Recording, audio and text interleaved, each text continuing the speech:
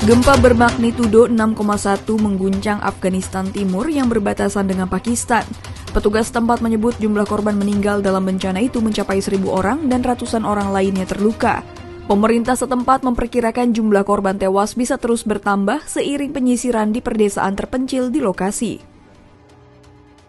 Gempa tersebut mengguncang empat distrik di dua provinsi di Afghanistan Timur, yakni Khost dan Paktika. Rabu 22 Juni 2022 pagi waktu setempat.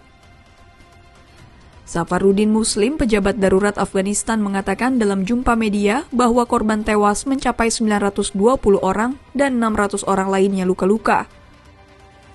Korban tewas disinyalir akibat konstruksi bangunan di kedua wilayah terdampak gempa itu dalam kondisi buruk yang rentan ambruk.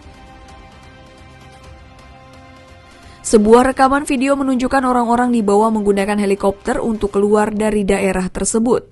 Di video lainnya, banyak korban gempa dirawat di sebuah lapangan. Bahkan, terdapat warga yang diinfus sambil duduk di luar reruntuhan rumah dan banyak orang tergeletak begitu saja di jalan dan di lapangan.